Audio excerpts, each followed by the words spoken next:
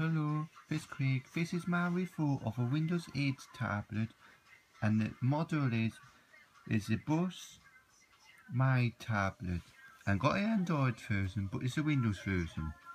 And it's a really good tablet. It's a hundred pound at Argos and it's a really really good tablet to use. It's not a, a most powerful tablet like Windows 1 we got Intel Atom quad core, 1 gig of RAM, 32 gig flash storage, plus I got a and 64 gig memory card in.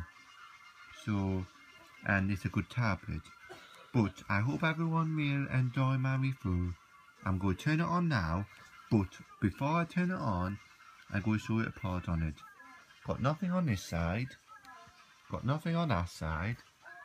I got got one button here, a camera button, a volume button. I can't remember what that button is. One power button, one camera button.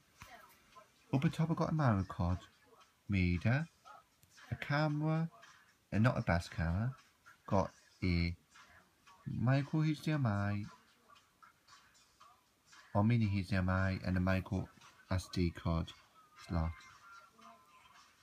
in here and a earphone socket and the screen not that bad for a tablet either.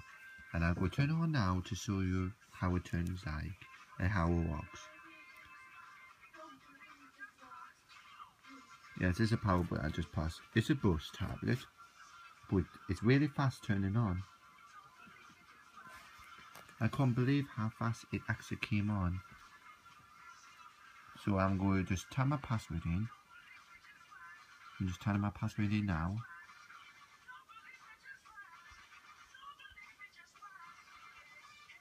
Yes.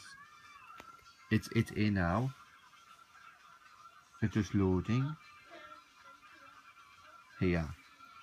This really fast. It's a desktop mode, but if I go Windows mode, and it's a Windows mode here, it's quite fast. If like what I go onto like, if what I go onto like photos, just click photos, and take seconds to load. But just load my photos. Don't, don't think I've got that many on here. Got like an app store here. And an app store. It's loading up. But it's not bad. Plus, it's a desktop mode. Desktop mode not normally come with it. But